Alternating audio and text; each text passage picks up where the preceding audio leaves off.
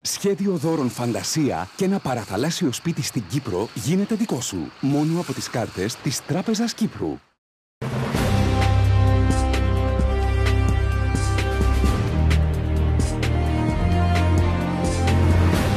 Κυρίες και κύριοι, χαίρετε. Παρακολουθείτε το οικονομικό δελτίο από τη financialmirror.tv.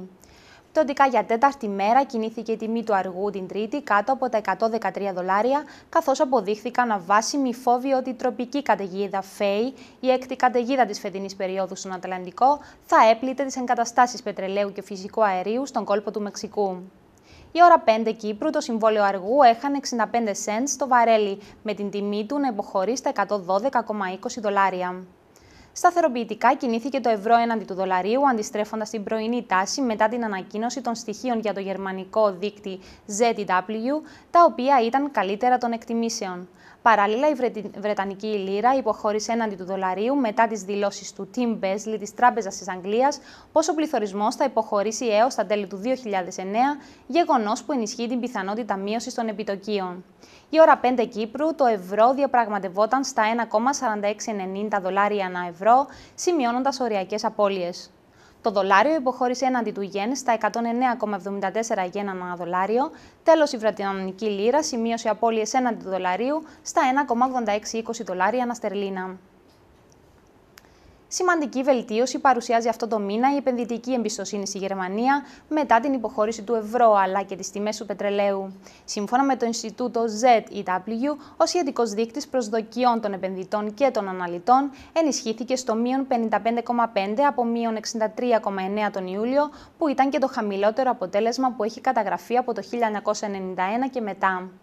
Από την άλλη, με 8,9% έτρεξαν οι τιμές του παραγωγού στη Γερμανία τον Ιούλιο, το υψηλότερο ποσοστό από τον Οκτώβριο του 1981, ενισχύοντας τις εκτιμήσεις ότι η Ευρωπαϊκή Κεντρική Τράπεζα θα διατηρήσει τα επιτόκια σε υψηλό επταετίας παρά τις ενδείξεις ότι η οικονομία κατεβάζει ταχύτητα. Ιδιαίτερο αρνητικό κλίμα επικράτησε στη συνεδρίαση των Ευρωπαϊκών Κεφαλαίων Αγορών, με τους δείκτες να καταγράφουν σημαντικές απώλειες.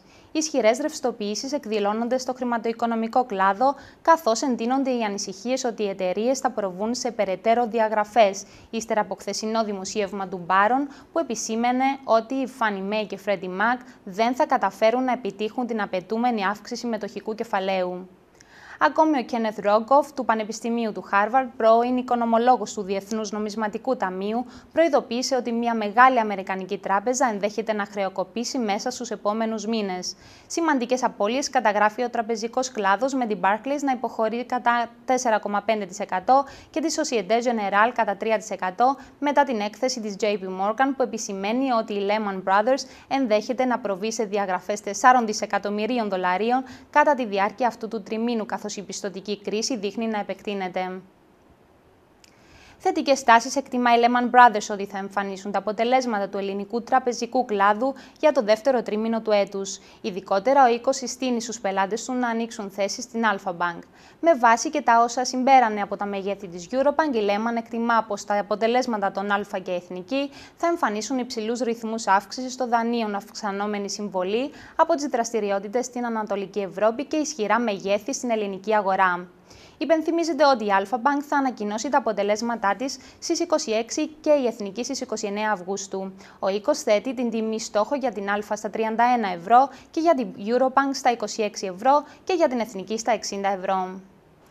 Η μηνιαία δημοσκόπηση της Mary Lynch στο περιβάλλον των διαχειριστών κεφαλαίων δείχνει πως η αισιοδοξία στις αμερικάνικες μετοχές σκαρφάλωσε στο υψηλό 6 ετών. Οι προοπτικές της κερδοφορίας όθησαν αριθμό ρεκόρ θεσμικών επενδυτών να ψηφίσουν Αμερική, βασισμένοι και στο άδικα υποτιμημένο αμερικάνικο νόμισμα. Αυτό σύμφωνα με το Διεθνή Οίκο αποτελεί ηρωνία.